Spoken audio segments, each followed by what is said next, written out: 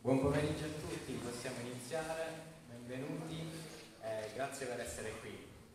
Eh, io sono Gianluca Campo, coordinatore di Rethinking Economics Cattolica, eh, referente economico presso Rete MMT. Introduco oggi eh, i nostri ospiti, in particolare il gruppo Chiara Porterato, che ringrazio per la sua presenza fin da ora e per il prezioso contributo che ci sarà.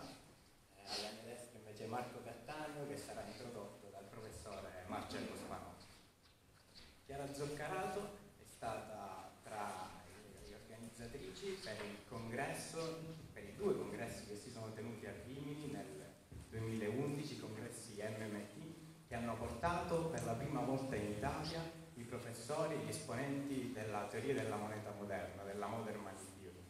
È possibile definire brevemente la teoria della moneta moderna come quella visione macroeconomica attraverso la quale si mette in luce il funzionamento del sistema monetario per offrire soluzioni macroeconomiche per raggiungere al contempo la piena occupazione e la stabilità dei prezzi. Successivamente Chiara è divenuta membro dell'associazione NMT Italia, di cui poi è divenuta parte del, membro del direttivo nazionale, è stata relatrice di diversi convegni pubblici, si è battuta per il no al referendum sulla riforma costituzionale, eh, ad oggi partecipa al network per il socialismo europeo e recentemente il suo impegno civile è stato trasformato in impegno anche politico. Il suo intervento è titolato, è intitolato Il governo dell'economia in una governance multilivello, la struttura istituzionale dell'Unione Europea e la crisi. Vi è quindi un taglio profondamente interdisciplinare in questo titolo, in cui si mettono insieme un connubio tra la dimensione economica e la dimensione giuridica eh, avente oggetto nell'Unione Europea. Eh, come chiarito dal titolo, la governance europea è una governance di multilivello. Ciò vuol dire che la lavorazione, l'attuazione, l'implementazione delle politiche pubbliche sono definite da un'azione eh, coordinata tra gli Stati membri dell'Unione Europea e le istituzioni dell'Unione Europea. Eh, questa implementazione delle politiche pubbliche è elaborata e appunto eh, attuata sulla base delle competenze, competenze che vengono definite dal, e vengono affidate ad entrambe le parti dal Trattato sul funzionamento dell'Unione Europea.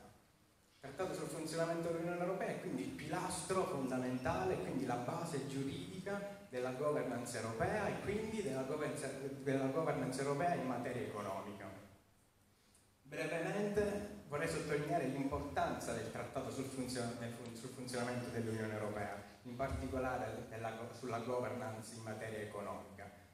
Eh, la governance in materia economica è definita dal titolo 8 del Trattato, intitolato appunto Politica economica e monetaria, e ricopre un ruolo fondamentale nella struttura istituzionale dell'Unione Europea e quindi all'interno anche delle nostre vite. Perché? Perché questo ruolo fondamentale? Perché la, il titolo 8 del trattato, appunto politica economica e monetaria, mette nero su bianco il sentiero della politica fiscale, della politica di bilancio che i governi devono rispettare. Indipendentemente dal loro orientamento valoriale, se appartengono all'universo valoriale del centro-destra piuttosto che del centro-sinistra, il Trattato sul funzionamento dell'Unione Europea nel titolo 8 già prescrive le indicazioni di politica economica e l'atteggiamento che i governi debbono avere rispetto alla politica fiscale. Più precisamente cito l'articolo 126, che non solo è, un, che è uno degli articoli più importanti di tutto il Trattato sul funzionamento, non solo del capitolo 8, in cui è scritto nero su bianco l'atteggiamento dei governi rispetto alla politica fiscale. E quale deve essere questa linea economica prescritta?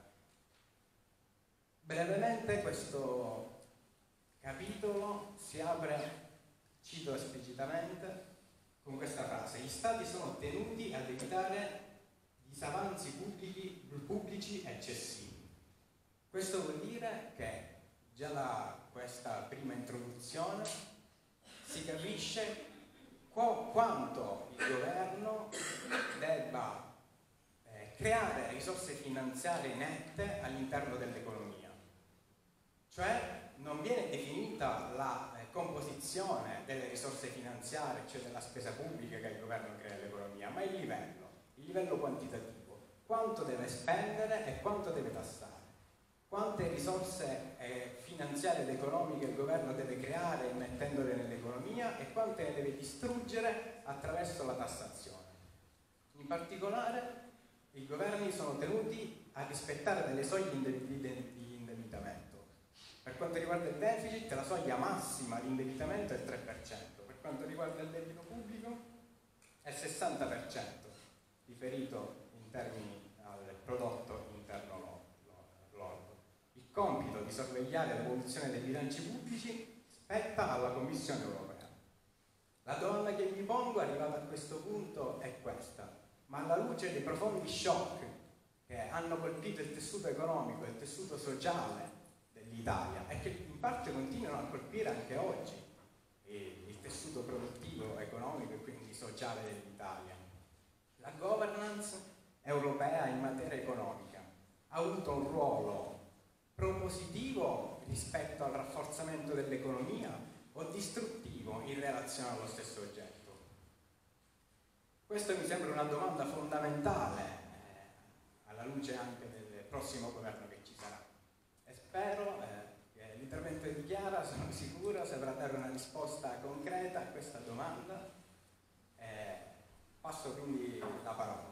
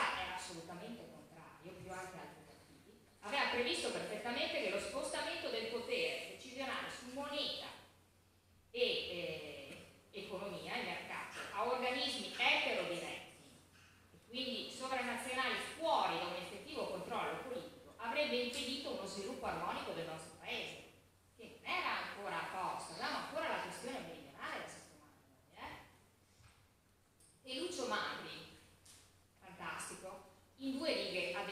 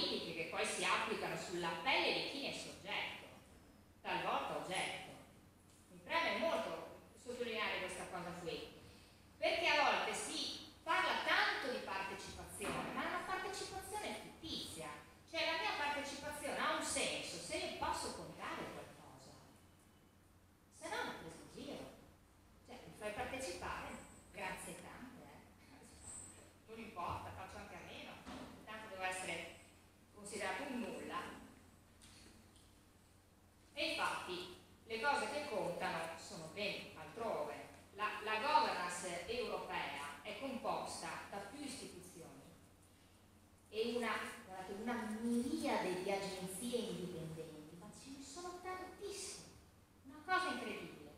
E sono indipendenti significa fuori dal controllo democratico, ovviamente, fanno quello che vogliono. E sono interconnesse tra di loro in vario modo e ovviamente su livelli diversi, orizzontali e verticali. La governance trasmette attraverso queste, queste connessioni gli input informativi delle politiche da sviluppare e ne riceve gli output che servono a monitorare l'efficacia della performance ottenuta, che devono essere conformi a dei principi tecnici prefissati. E questo cosa vuol dire?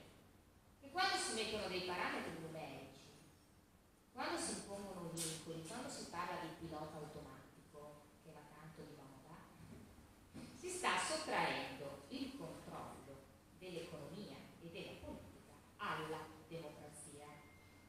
Perché la presunzione di oggettività preclude qualsiasi tipo di dibattito.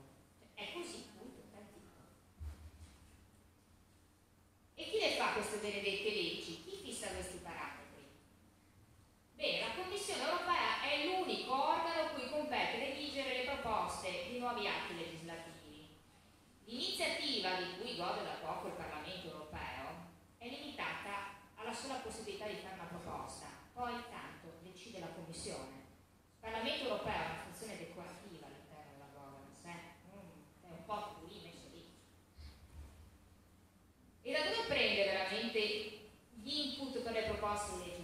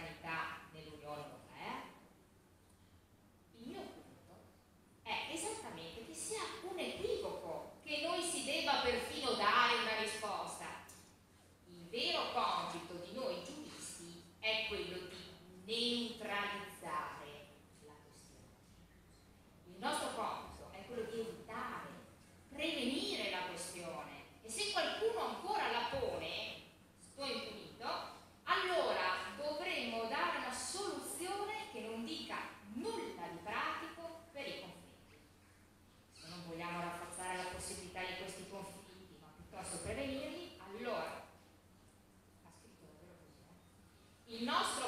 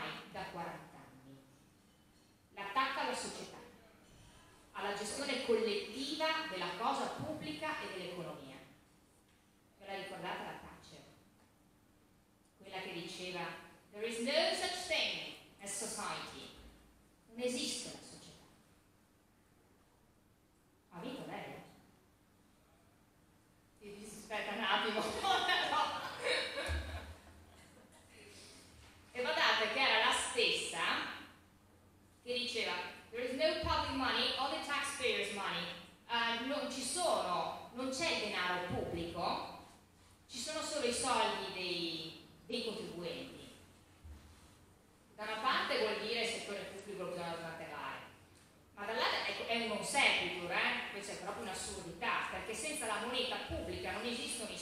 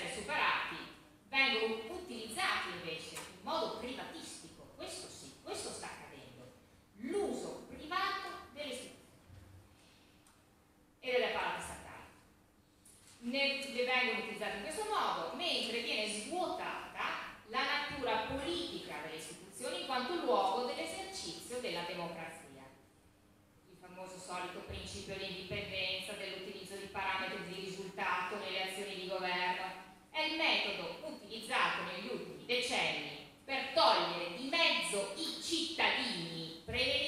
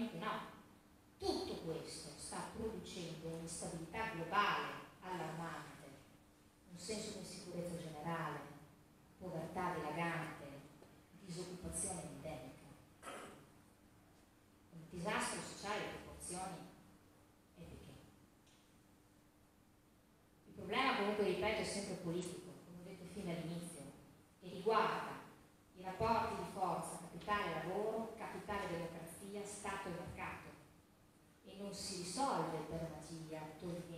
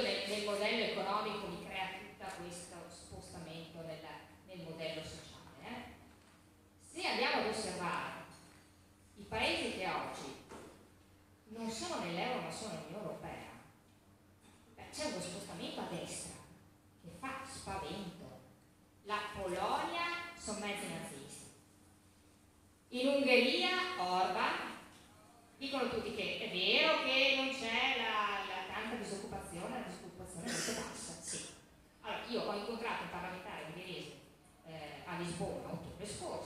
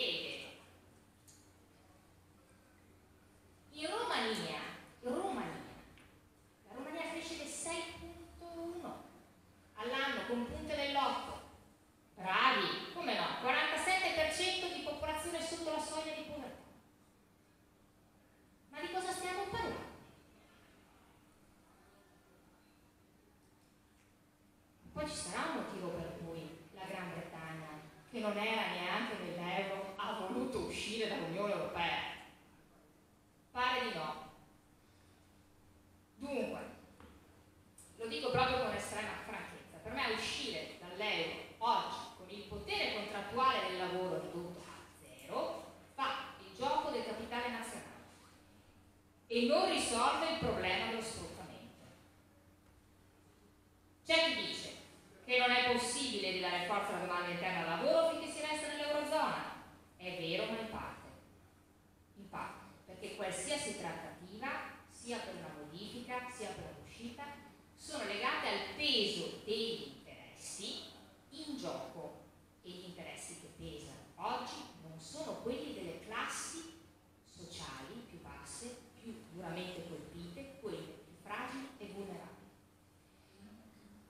Solo notare che una ripresa industriale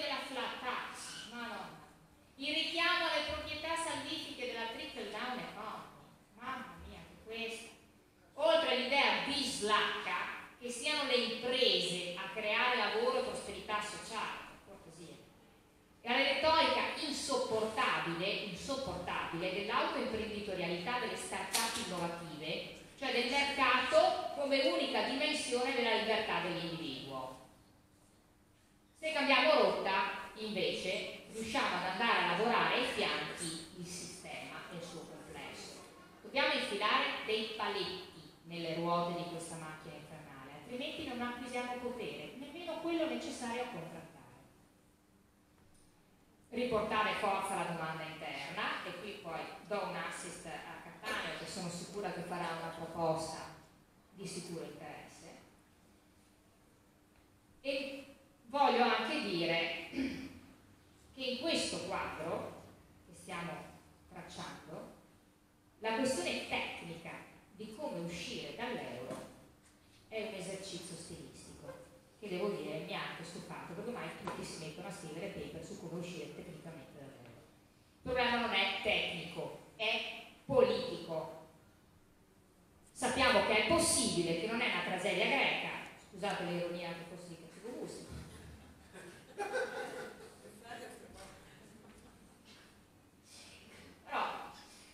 Sono gli interessi di classe che poi vanno a determinare la modalità vera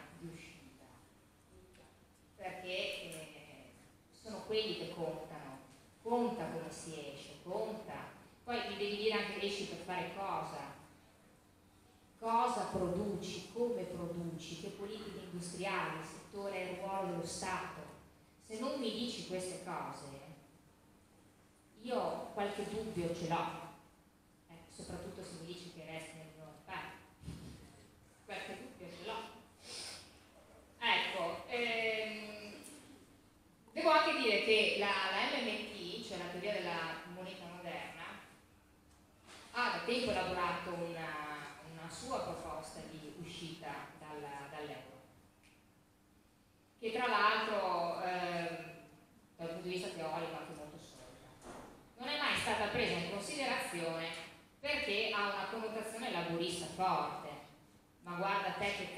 no?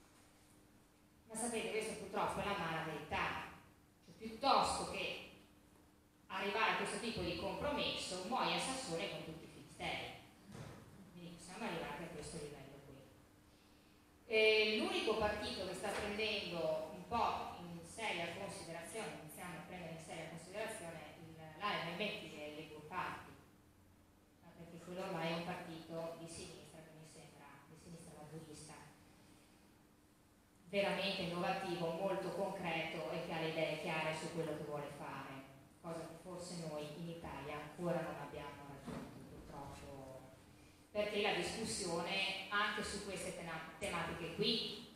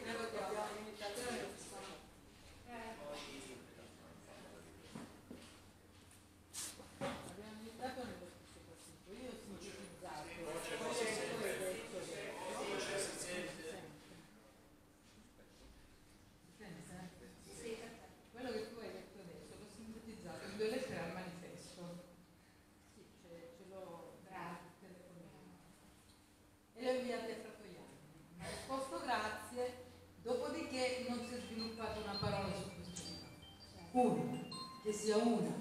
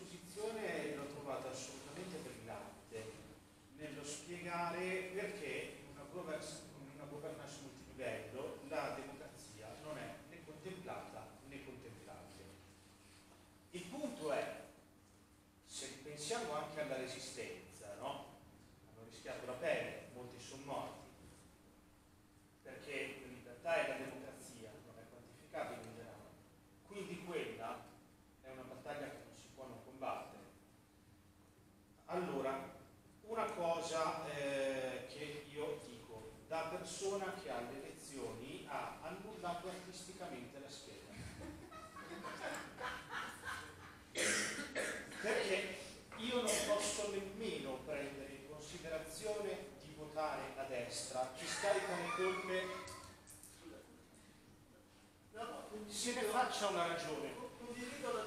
Non posso nemmeno prendere in considerazione l'ipotesi di votare chi scarica le colpe sul colore della pelle. Per quanto sia detto per inciso, io credo che le frontiere vadano controllate anche per quello che riguarda la mobilità delle persone. Tabù.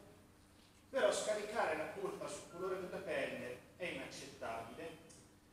Eh, non posso prendere in considerazione chi vuole la flat tax, cioè mi vuole imporre una mh, prospettiva di stato minimo con altri mezzi, io devo scontrare il campo del liberismo, non voglio fare un altro liberismo.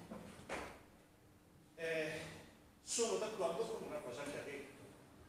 Fa ridere qualsiasi ipotesi, qualsiasi prospettiva di uscita dall'Unione Monetaria Europea non congiunta ad una prospettiva di uscita dall'Unione Europea.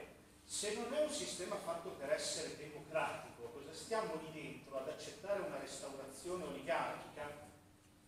Allora, molto vera un'altra cosa che ha detto. Nel processo che deve portare al ripristino della democrazia è fondamentale quali sono le classi sociali che guidano il processo. Perché?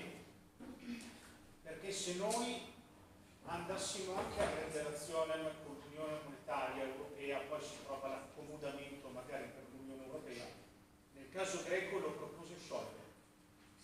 E Tsipras fu un pazzo a non accettare. Avrebbe dovuto accettare. Assolutamente, stabiliva il processo, a costoro avremmo risolto il problema perché se ne scappavano tutti. Stabilito il precedente, rimaneva la Germania da sola. Allora, eh, il, il problema lo dobbiamo comunque porre. Possiamo pensare di gestire le transizioni in mille modi, tra le altre cose acquisendo eventualmente un potere contrattuale attraverso monete fiscali, perché no? Ma ci dobbiamo porre il problema della democrazia in un contesto di governance multilivello, che non è fatto per essere democratico. Ora, quali spazi si aprono per un ragionamento di questo tipo nel momento in cui in Italia abbiamo esclusivamente prospettive politiche che si rassegnano alla, alla posizione della democrazia o di eh, prosecuzione del liberismo con altri mezzi. Grazie. Allora, eh, sono molto d'accordo